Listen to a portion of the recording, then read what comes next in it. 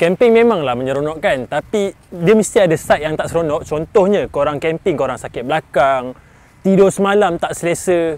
Pernah tak lalui pengalaman yang macam ni? So, saya ada solution untuk korang dan korang kena tengok video ni sampai habis. Let's go.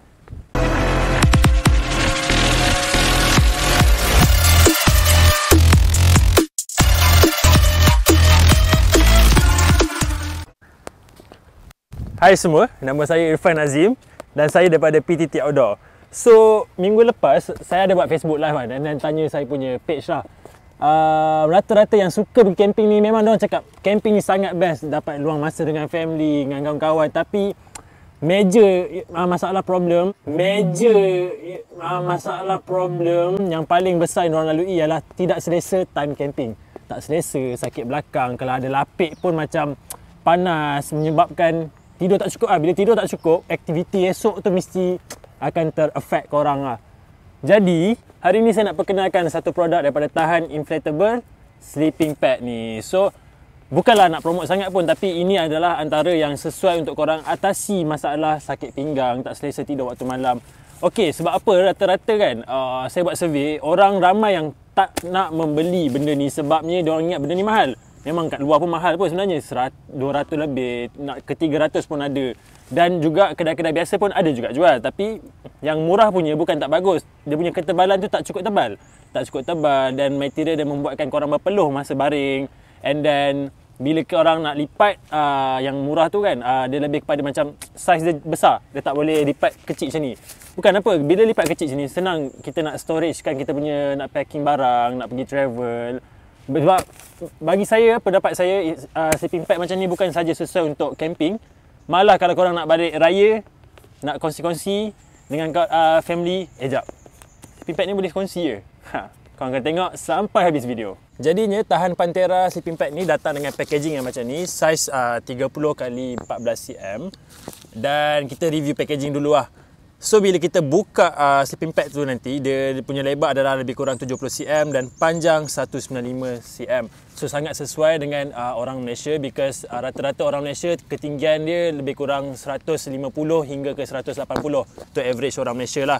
Atau paling common 170. Okay, dekat packaging ni dia kata dia water resistant. Jadi kita test betul-betul water resistant ke tak. And then ketebalan sleeping pad ni lepas dah dimasuk angin lebih kurang 10 cm tebal tu And then juga dia ada built-in pump. Okey, yang ni korang kena tahu apa beza sleeping pad ni dengan sleeping pad yang lain. Sleeping pad yang lain memanglah harga dia kadang-kadang tu memanglah murah-murah sangat dan mahal-mahal sangat sangat kan. Tapi beza dia yang sleeping pad lain bila korang beli korang kena beli extra pump angin. Okey, itu pun dah tambah kos. Bila pump angin korang nak packaging lagi dah makan space pula. Okey, itu tak apa. Lagi satu setengah tu pula ada dia bagi guna pump mulut. So bila nak pump mulut ni berapa lama korang nak set up sleeping pad tu sampai tebal 10 cm kan? Uh, and then paling penting kita jaga hygiene. Let's say hari ni uh, saya yang pakai sleeping pad ni, saya dah tiup dah guna mulut. Esok kawan saya nak pakai dah berkongsi-kongsi. Indirect kiss kat situ. Tak nak, kita tak nak, kita nak jaga hygiene. So sebab tu dengan tahan sleeping pad ni, uh, dia memang dah ada built-in pump. So built-in pump tu macam mana lebih kurang kita buka je penutup dia dan kita pang guna tangan atau pijak je. Sekejap lagi kita demo. Sebab tu kau kena stay.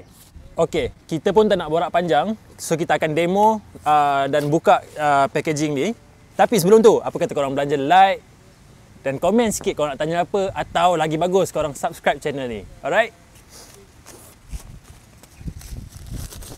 So packaging dia, uh, dalam dia terus ada dia punya sleeping pad. Siap dengan getah dan juga ada extra patches. Alright. Kita buka getah ni dua-dua ni dulu. Tak apa, kita simpan balik dalam uh, bag dia. Bag ni kita letak tepi dulu eh. Okay, and then korang terus uh, buka dan korang kembangkan. Okay, bahagian oren ni adalah bahagian belakang sleeping pad ni Okey. Lepas tu kena tengok betul-betul. Dia ada dua uh, lubang angin ya. Satu dekat bahagian warna oranye dan satu lagi dekat bahagian warna hitam. Okey. Kalau korang nak kembangkan, nak masukkan angin dalam uh, spin pad ni, make sure yang di bahagian oranye ni korang tutup kedua-duanya. Satu. Satu tutup dan dua. Dan kalau korang nak pump, make sure buka dan dekat sini lah korang akan pump. Alright? Okay, untuk kita start pump uh, sleeping pad ni, macam saya cakap, double check dulu. Yang di bahagian orange, make sure tutup dengan kemas. Dan di bahagian yang warna hitam ni, kita buka. Dan terus je pump. Make sure tangan korang cover dia punya lubang ni. Pump.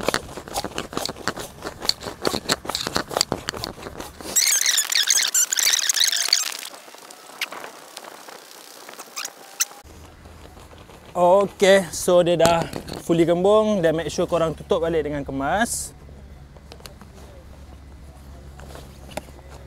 Dan kita ready untuk gunakan sleeping pad ni. So biasanya sleeping pad ni ada je orang buat lepak santai dekat ada apa?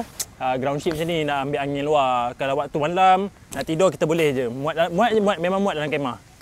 Kita boleh try.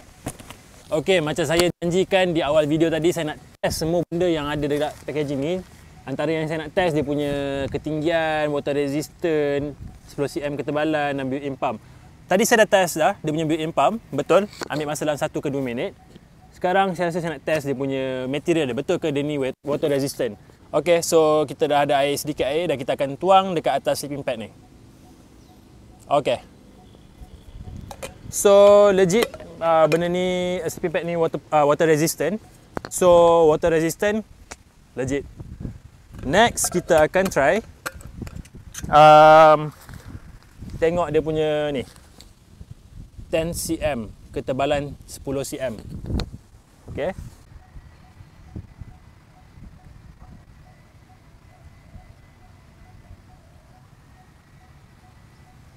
10 cm. Nampak 10 cm. 10 cm guys. 10 cm dan last sekali apa yang kita nak check ialah betul tak ketinggian benda ni adalah 195. Saya, tinggi saya adalah 185. So sepatutnya dia akan lagi tinggi pada saya. Jadi kita test.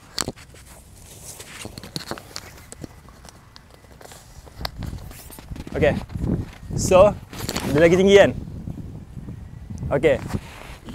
Ada macam 10 cm lah. Kalau tak ada tu maksudnya sebab dia defect dia, bukan defect. Uh, dia punya ralat dia sebab bila dia dah masuk angin, bila dia dah menebal dia akan kecut sedikit. Tapi still uh, ukuran dia lagi tinggi pada saya sebab saya 185 dan sepatutnya ukuran dia 195 so walaupun ada uh, plus minus sikit dalam kiraan dia saya tetap approve legit. Muat ke spin pad ni masuk dalam kemah? Jangan cakap banyak jom kita try. Alright guys, memang muat. Rata-ratanya average semua kemah akan muat dan memang saya cakap tadi uh, sesuai dan sangat uh, okey dengan average ketinggian rakyat Malaysia. Okey. Testing air dah sudah, testing dia punya panjang pun dah sudah, testing material apa semua pun dah sudah. Apa kata sekarang kita bercakap tentang apa yang saya suka tentang sleeping pad ni. Okey, to be honest, apa yang saya paling suka ialah dia ada built-in pump. So senangkan kerja saya, senang untuk deflate, senang untuk uh, kita pump, senang untuk kita bawa dia keluar lah. Dan yang kedua, apa yang saya suka ialah dia sleeping pad ni dia dah siap ada uh, built-in pillow. Selain pada built-in pump, dia ada built-in pillow. Maksudnya, saya tak perlulah bawa bantal ekstra. Sebab dia dah memang dah ada uh, built-in pillow. Sebab tu saya cakap, sleeping pad ni sangat penting sebab dia akan sesuaikan korang punya uh, belakang dan juga uh, kepala untuk korang betul-betul berehat dan dalam keadaan yang selesa. Dan apa yang saya suka lagi pasal sleeping pad ni adalah Walaupun sleeping pad ni mungkin setengah orang tidur akan lesak sikit kan? Akan lesak sikit kan? Jangan risau, beli dua sebab you guys boleh sambungkan uh, antara dua sleeping pad ni. So macam ni ya. So kalau you guys perasan dekat sleeping pad ni uh, di belah kiri dan juga kanan dia dia ada uh, button tau. Uh, so button-button ni lah kita boleh gabungkan. Tak kisah kau nak gabung dua, tiga, empat, lima sekalipun korang boleh. So nak gabung dia just clip in uh, button tu kat sini. Oh. Okay. And then sambung yang dekat bahagian bawah.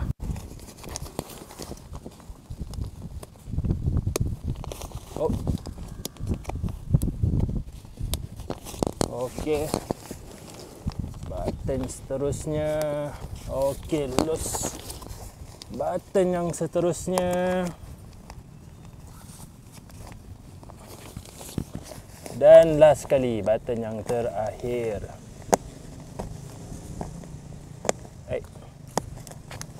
Okey, kita dah gabungkan. Nak tengok dia kukuh tak kukuh kita akan try angkat. So saya telah gabungkan dua sleeping pad dan you guys juga boleh lagi gabung seberapa banyak sleeping pad yang you guys nak di sebelah kiri atau kanan. Ingat tak di awal video saya dah cakap sleeping pad ni bukan saja sesuai untuk you guys pergi ke camping uh, atau outdoors malah juga sesuai untuk kalau you guys nak bawa balik hari raya kongsi dengan saudara mara, kongsi dengan family tidur sama-sama dekat kampung kan. Okey. Okay guys, so saya dah cerita semua benda tentang sleeping pad ni daripada segi size dia berapa panjang, berapa lebar, material dia water resistant ke tak dan apa feature-feature menarik yang ada di sleeping pad ni macam dia built-in, ada built-in pillow, ada built-in pump dan macam-macam lagi dekat video tadi. So, satu benda je yang saya tak, tak sebut lagi iaitu harga. So, kalau you guys nak check out produk ni, nak tahu harga berapa, features-features lain berapa, boleh tengok dekat description kat bawah. Kita ada letak uh, link dekat description. So, boleh check out. Dan sebelum tekan link tu, make sure korang subscribe kita punya YouTube channel. Dan komen kat bawah nak review barang apa lagi atau any content yang korang nak tengok kita release di masa hadapan. Okay, thank you very much sebab sudi tengok video saya ni. Kita jumpa lagi. Bye-bye.